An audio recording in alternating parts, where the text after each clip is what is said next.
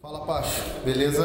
Fala, Lucas. Fala, pessoal. Beleza? Brandinho me deu uma missão, que eu já cumpri o treino do Henrique. Boa.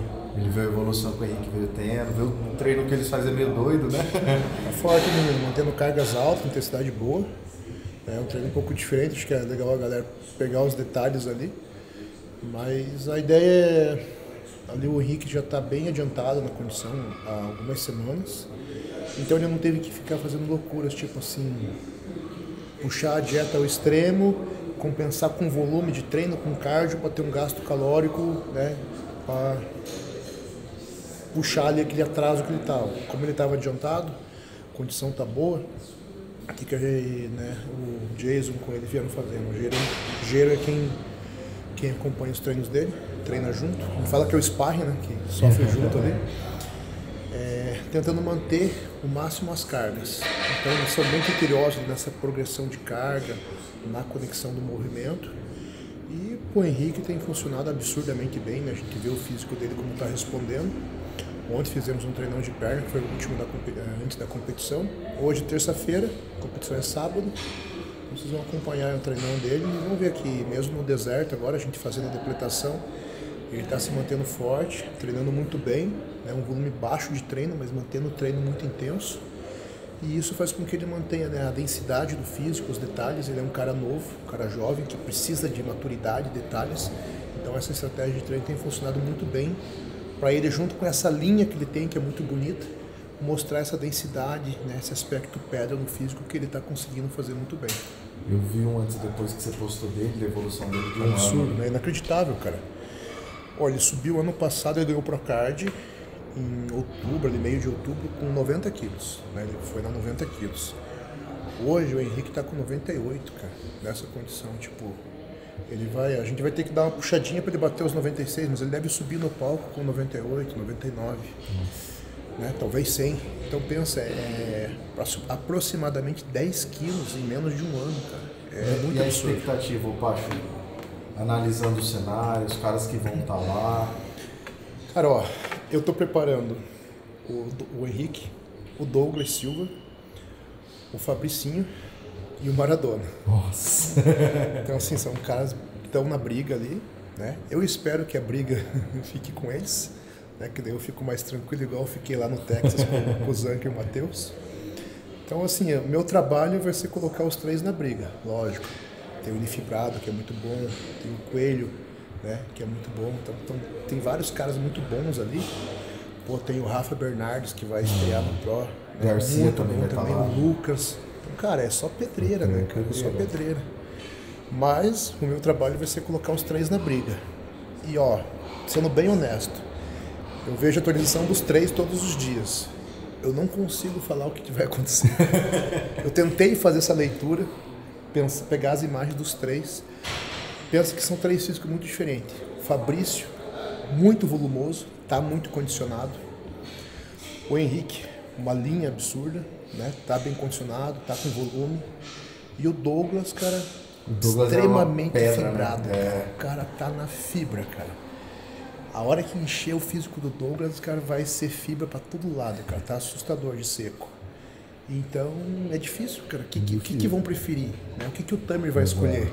Exato. Mas o trabalho está sendo muito bem O meu trabalho vai ser jogar, né, tentar colocar os três no 100% e fazer com que eles briguem lá e dê essa dor de cabeça pro Tamer resolver. É isso aí. Boa, Pacho. Bora pro treino. É isso, vamos lá. Valeu. Peraí, antes de você continuar assistindo esse vídeo, eu quero passar uma informação que talvez você não sabia. Quando você faz o certo, seus resultados são duas ou três vezes mais rápidos. E se você fizer tudo errado, você não tem evolução nenhuma e acaba gastando dinheiro à toa. Mas calma, olha o que acontece quando você escolhe vir pro Brandão Team. Nas primeiras semanas, o resultado já começa a aparecer, porque fazemos uma periodização bem elaborada. Vem fazer parte do Brandão Team. De quebra, você ainda é um convidado especial pro Meeting que acontece aqui na caverna. QR Code na tela e link na descrição. Não perca tempo, vem fazer parte do Brandão Team. Fala aí, galera do canal do Brandinho. Canal do Brandão, né? Brandão. Beleza.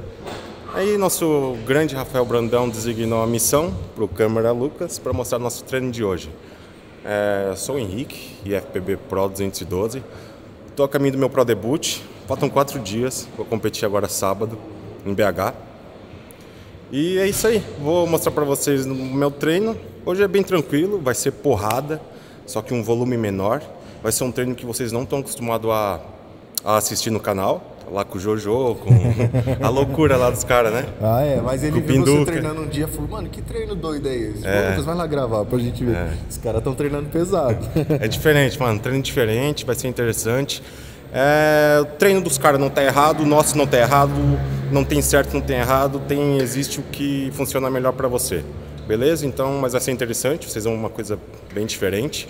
Um volume pequeno, mas porrada, bruta. O, trouxe o Geirão, meu Esse é o cara. fiel o mago. Os caras nunca vão saber meu nome. Toda vez, vocês- cada canal que a um gente fala participa, um, né? ele chama de nome. Mas hoje vai ser tranquilo. Perto do que a gente fez aquele dia que o Brandão veio. É, A gente tava fazendo fubari. Mas hoje, como o Pacho pediu pra gente treinar todos os dias até quinta, então como não ia ter dia de intervalo, a gente di- dividiu um pouco mais. Aumentou o volume no mesmo dia e diminuiu a frequência de estímulo. Então hoje a gente vai fazer peito e costas, três exercícios para costas, dois exercícios para peito. Nesses de costas a gente vai fazer uma puxada onde a gente fica mais reto, o tronco mais reto. A gente vai fazer uma puxada onde a gente fica um pouco inclinado para que a angulação veia em diagonal, finalizando com uma remada supinada para bater ali mais no meio para baixo do dorsal do Henrique, onde é um ponto forte dele que vocês vão ver no sábado, que a gente trabalhou bem essa região. E um crucifixo e um supinão para matar o, o treino. É, resumidamente é isso. À medida que a gente for é, começando, a gente vai explicando, né, uma coisinha a outra, como a gente faz a progressão de carga e tal, as séries. E bora, marcha. Marcha, um para cima que é poucas. É nóis. J like the letter, I'm making several waves. I know the mission is same. I made a splash, now all of my passes last like running a race with Usain. I keep it coming like this a buffet. And if I'm stumbling, I'm in the grave. Never gon' fumble it, I get the Tem visto o Garcia lá na caverna? Tem. Sabe que a gente vai subir, né? Sim, vai subir junto, né? Vai ser bonito de ver. Acho bom ele tá ligeiro. Vai ver que tá sinistro. Não vai dar boi porque é da casa não. É isso aí. A gente faz esse exercício sempre quando a gente começa o treino com dorsal, a gente gosta de vir aqui fazer um crucifixo inverso para dar uma mobilizada na escápula, dar uma ativada aqui no meio, no trapézio no meio, mexer a escápula para deixar ela mais solta, para quando a gente for começar a remada e as puxadas. Aqui é um exercício que a gente não chega até a falha, a gente põe uma carga levinha só para Só pra mexer mesmo. mexer mesmo.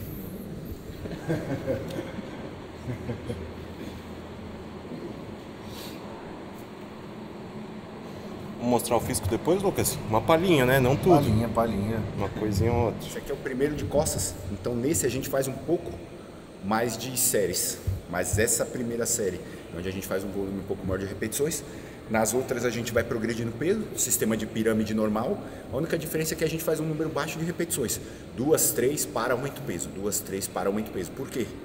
Eu não quero cansar ele ao longo do exercício. Eu quero que ele dê o máximo com o peso que a gente vai fazer, porque a gente tem uma série só, válida. Então, tiro só para ele fazer o máximo dele. Quantas repetições, mais ou menos, vocês tentam buscar nessa série? Então, nessa série máxima, a gente está fazendo hoje é entre 10 e 12. Porque semana passada a gente fez entre 8 e 10. Então a gente mantém o peso, faz 10, 12.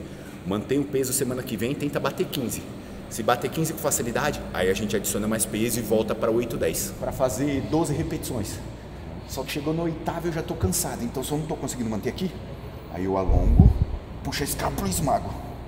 Alongo, puxo a escápula e esmago. E acaba que se você não alongar tudo, faz um pouquinho mais de controle de excêntrico. Isso. Faço aqui, ó, fico aqui. Galera, é, essa aqui é a última série antes da válida. Então a gente faz pouca repetição.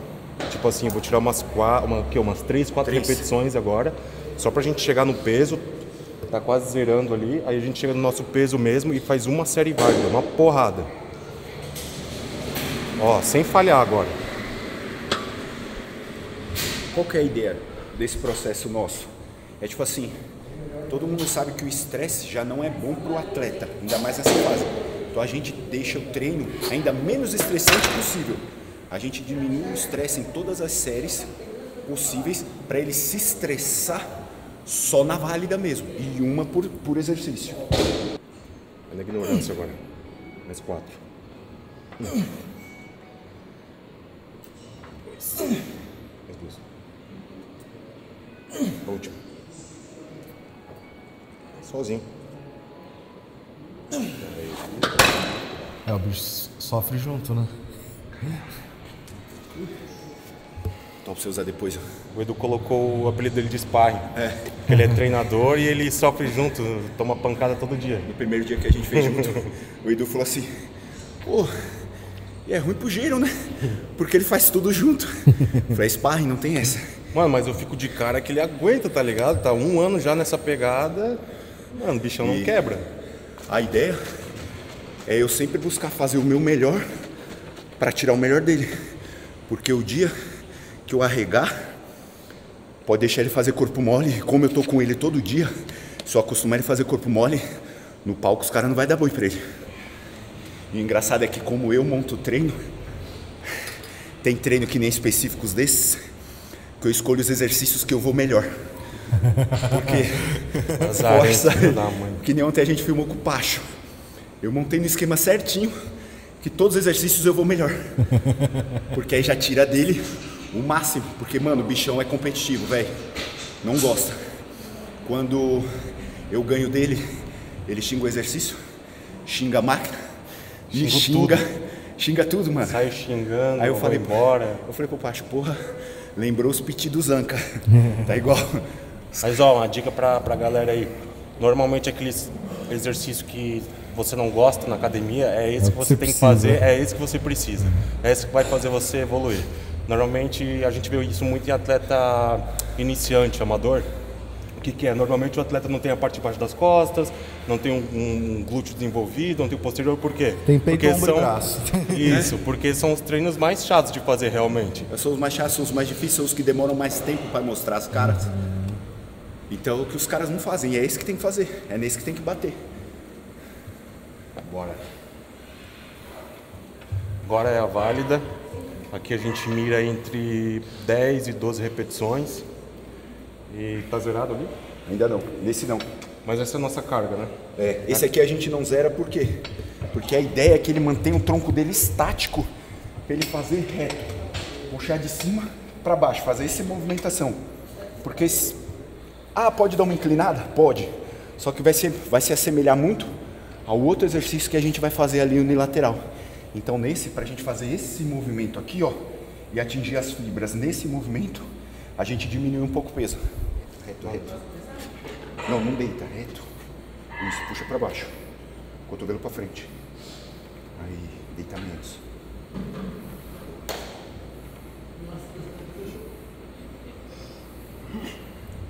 Bora.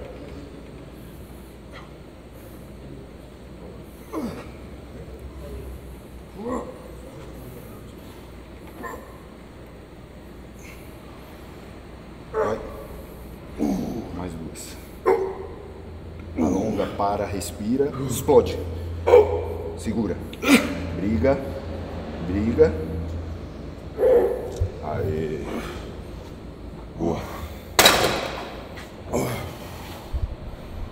Estão vendo por que a gente faz só uma série válida? É uma série, mas é dando a vida. Aí o pessoal pergunta, pô, mas vocês fizeram bem, por que não faz mais? A gente já tentou fazer um volume maior de duas, três repetições com essa mesma carga. Só que a gente tinha prejuízo no desempenho. Então ou a gente caía muita repetição, que nem aquele fez 12 brigando, ia para 4, 5, ou a gente teria que reduzir o peso.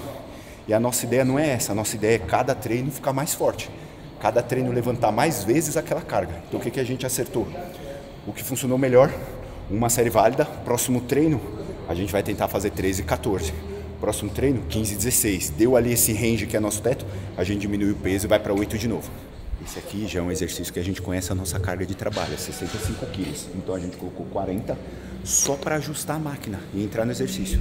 Então a gente vai ajustar o banco, faz duas, três repetições, vê que é aquilo mesmo, já põe a carga de trabalho e marcha. Aqui não tem muita aquecimento, não tem preparatória, já é madeira, para a gente reduzir o máximo do cansaço. Lá a gente fez de cima para baixo, reto. Aqui a gente vai fazer em diagonal e vai usar até a estrutura da máquina para apoiar a cabeça aqui. E aqui a gente vai puxar, ele vai vir inclinado. Vai ser uma puxada em diagonal, para a gente atingir as fibras em diagonal. Que pego- Unilateral. Isso, unilateral. Apoio a cabeça aqui, mantém o tronco fixo. Puxa.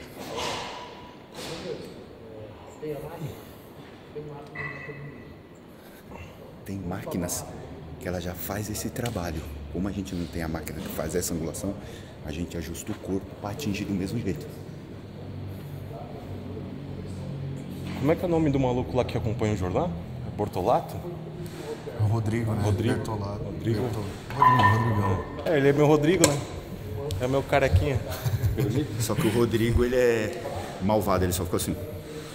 Você pode ver, ele não abre a boca. ele- Aí ele vai ajudar os caras. Ele, Poucas ideias. ele falou que a galera achava até que ele era mudo.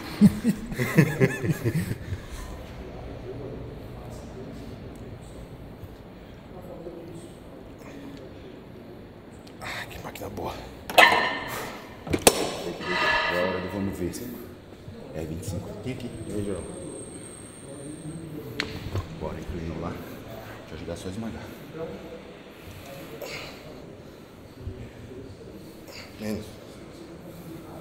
Deixa o corpo Deixa fixo. eu. Deixa o corpo fixo. Não tira a cabeça. Deixa eu, porra.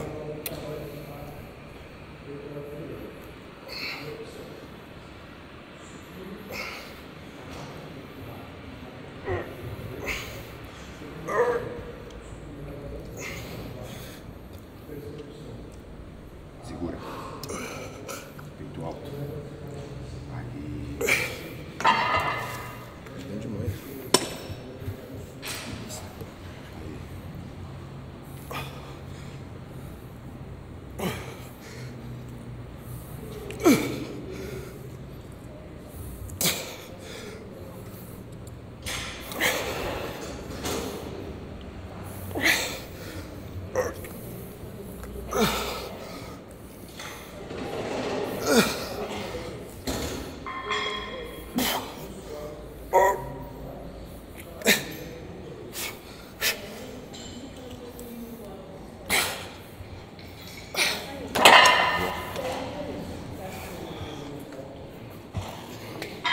Aqui, ó, é o mesmo esquema. A gente já sabe o peso, vamos pôr de entrada e vamos fazer a série válida de 8 a 10. 8 a 10 não, 12 a, 10 a 12. Ou falhar, um dos dois.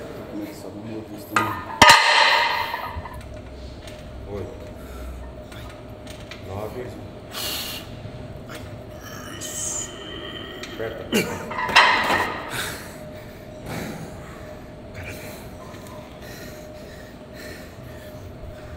Bora. Aí.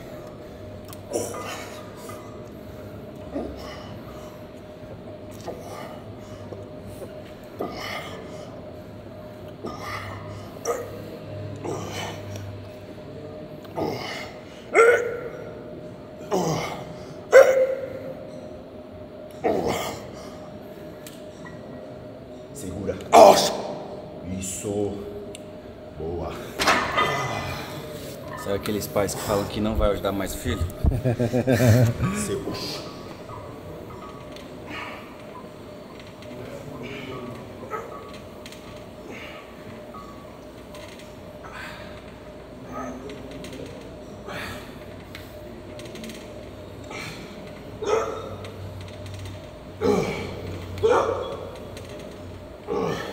Duas. Uma e segura. Bora. Segura.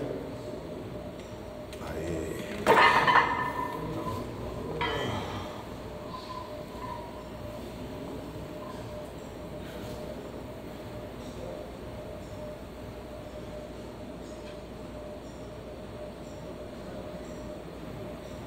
Finalizamos dorsal, lá naquela remadinha. Agora a gente vai começar peito. Peito é mais simples. A gente vai fazer crucifixo, uma série também até a, até a falha e depois supino reto na hammer também, uma série até a falha. Bora.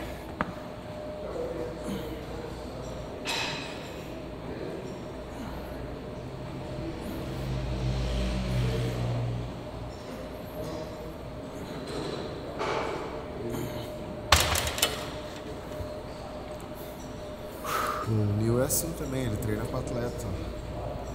Treina junto. Ele tava treinando com o Brandão, né? Quando ele tava aqui.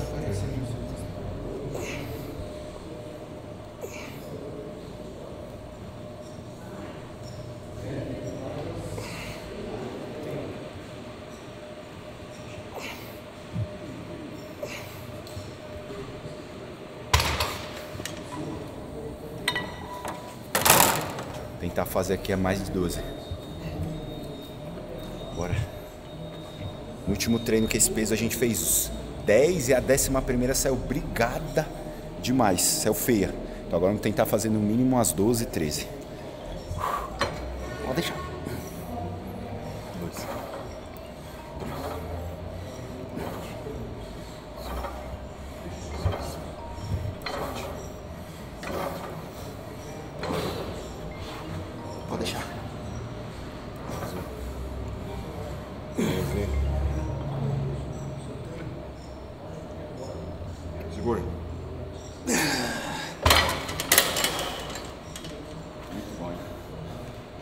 Chega um nível quando você começa a conhecer suas cargas e chegar a entender a sua falha, você consegue prever aonde você vai falhar. Que nem eu falei ali pra vocês. Fiz 10, 11, vou fazer 12, 13. Mesmo que eu tentasse fazer 14, não iria. Mas um próximo treino, certeza eu consigo fazer umas 14 brigando a, a 15 quinta. Bora, bichão. Ajudar só a tirar. Concentra. Deu.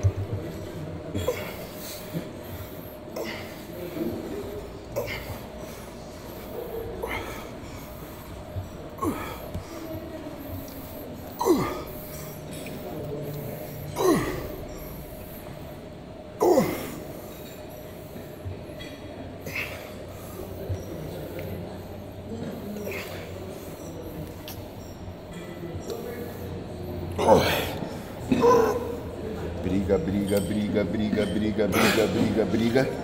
Segura. Tira, deixa. Aí. Não segura a volta. Se você falhar, a máquina puxar teu ombro, te arrebenta. Deixa a volta pra mim, deixa eu me fuder sozinho. Fudeu, cara. Só ajuda a fechar. Eu só fiquei com a mão ali. E aí? Boa? De volta pro futuro.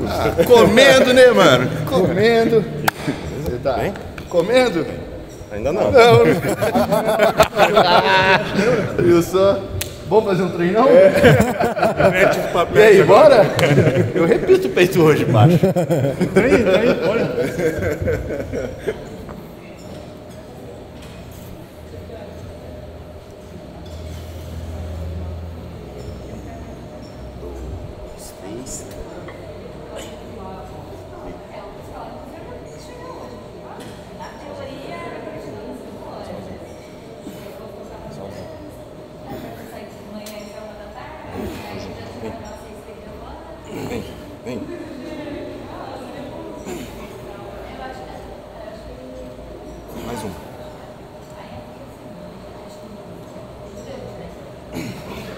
Deixa eu segurar. Segura, segura, segura, segura. Força, força.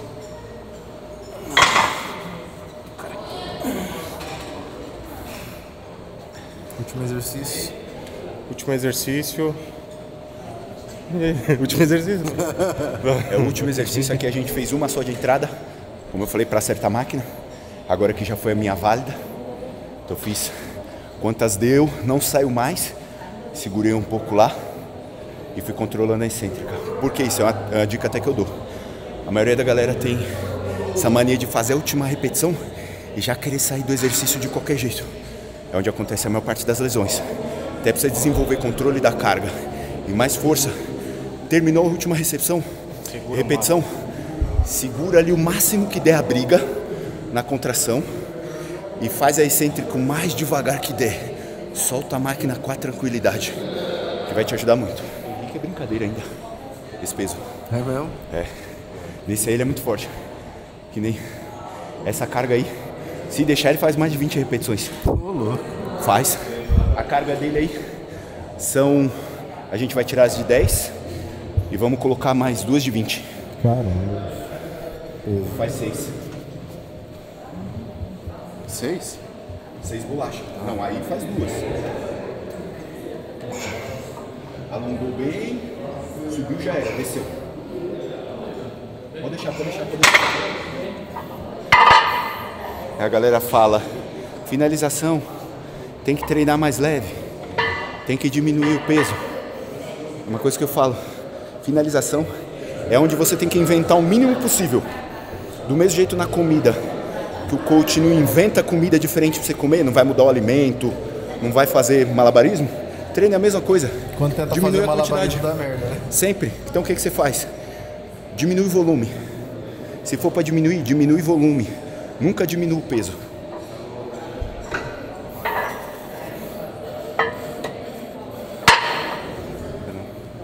De. Fica até ok. Para de descansar, para, para descansar. Tudo que é eu tenho que ficar controlando ele parece criança. Igual o Woody falando que no dia de descanso ele tem um abraço. Olha os caras, mas então foi na descanso. Descansa, tio. Bora. Concentra. Tira lá de cima. É o peso. Um, dois, três, vai.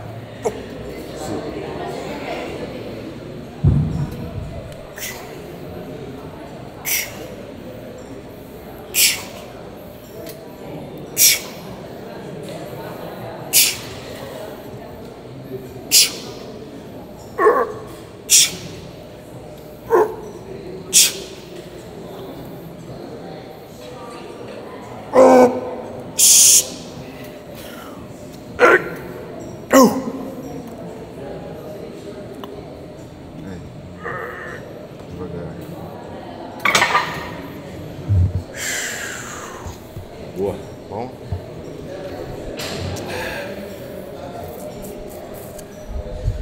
Da mesma forma que eu falei, para não inventar, isso já é um peso que a gente vem fazendo.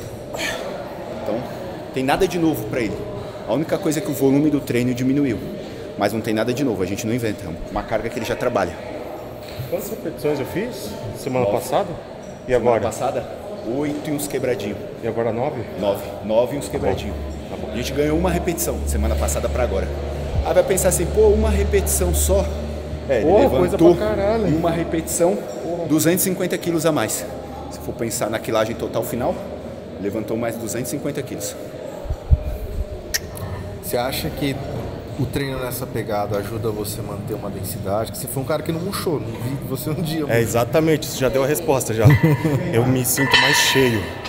Tipo assim, eu parei de me sentir vazio. Antes eu acordava de manhã e tinha um- uma sensação assim de saco murcho, mano. Vazio mesmo. E esse treino me fez me sentir mais cheio o dia inteiro. É, sabe aquele pump quando faz treino muito metabólico? Aquele pump intenso? A galera até brinca, ah, cheguei em casa, tomei um banho, tava no pump. murchei. Então, eu parei de sentir isso. É mais um pump crônico. Eu sinto o dia inteiro, mais contínuo. Tá ligado? É o pump É eterno. um super, tipo um super poder, tá ligado? Foda. né? Isso é a essência. Isso é essência.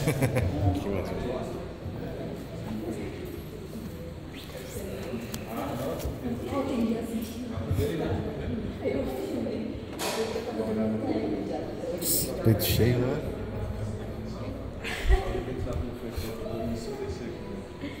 Eu, tipo, atendi assim, mas eu tipo, Já começou o cardápio? Isso eu ia falar.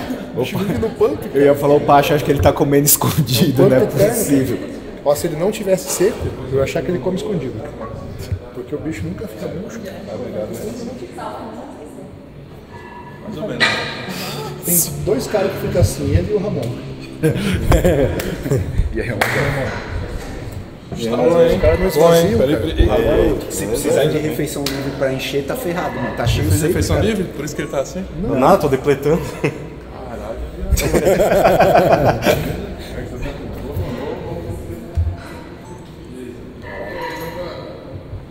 Você viu uma coisa que é bizarra. As pernas dele. A gente treinou ontem com um volume um pouco maior e não embaça, né? Tá com pump, Olha, é. mas não tá inflamado não. Pô, ficou bom VAR.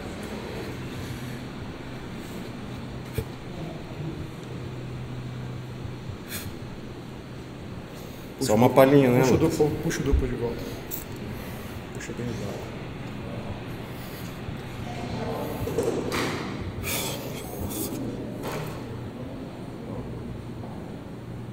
Muito bom.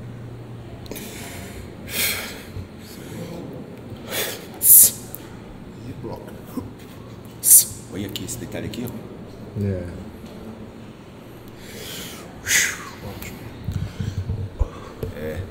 E ainda, e ainda nem começou a bruxaria ainda. É, amanhã é quarta. De quinta pra sexta e sexta pra sábado o negócio vai ficar mais Nossa. estranho. Então tá, hoje 9 litros de água, 8 gramas de sódio. Ainda tá com cheio de água, né? É, Pacho. Sim, meu filho. Isso aí, deixa nos comentários o que vocês acharam do físico.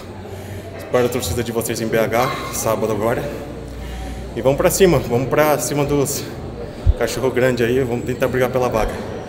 Não é não, Pezão? Isso aí. Valeu, Gerão. É nóis. Tamo junto. Nas compras de qualquer produto da Max Titanium ou Dr. Peanut, você concorre a sorteios de kits e uma viagem para acompanhar o Elite Team em Las Vegas. no maior campeonato de fisiculturismo do mundo. Lembrando que o cadastro na promoção é válido somente de 15 de julho a 15 de setembro. E aí, você vem?